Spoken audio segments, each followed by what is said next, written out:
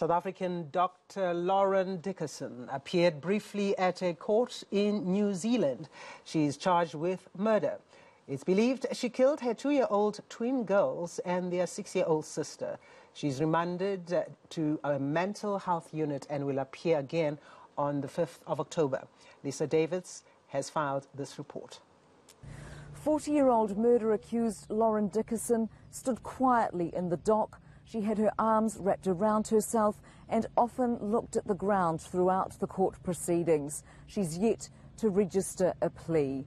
No members of the public or support people could be in the courtroom because of COVID 19 restrictions, and she's been remanded in custody to Hillmorton Hospital in Christchurch, a secure facility where she'll undergo a psychiatric assessment. She'll reappear at the High Court in Timaru on October the 5th for another hearing. The crime scene tape has gone from outside the family's home as police have now finished their investigation of the scene. They won't be speaking any further to media as the case is now before the court.